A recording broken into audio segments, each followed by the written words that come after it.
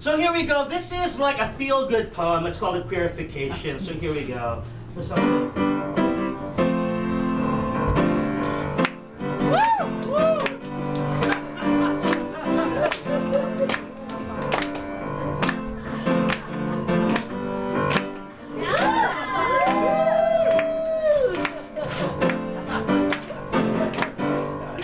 Queer me, shift me, transgress me.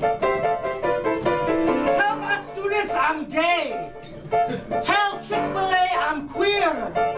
Tell the New York Times I'm straight. Tell the mailman I am a lesbian.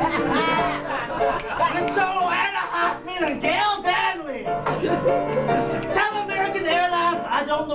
gender is. Like me, liking you, like summer blockbuster armrest dates. Elbow to forearm in the dark, cinematic love. Humor me queerly.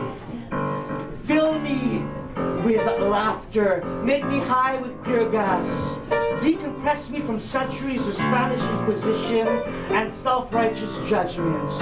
Like the blood, my blood that has mixed with the colonizer and the colonized. In the instinct and instinct to love. Bust memories of water and heat and hot breath. Beating skin on skin, fluttering, bruise me into vapors,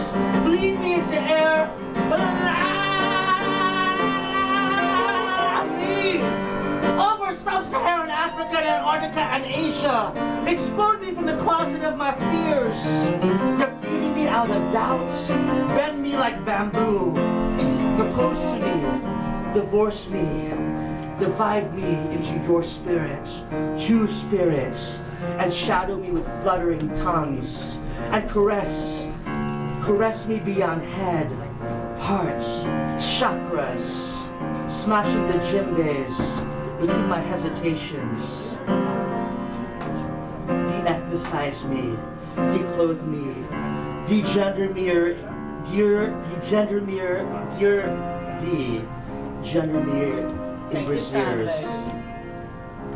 and prosthetic genitalias. Burn me in a brassiere, wearing a brassiere, in bitch braggadocio soprano bass. Magnificat me in vespers of hallelujah and amen. Libate me in halos. Heal me in halls of Femi troubadours. I am not afraid to love you.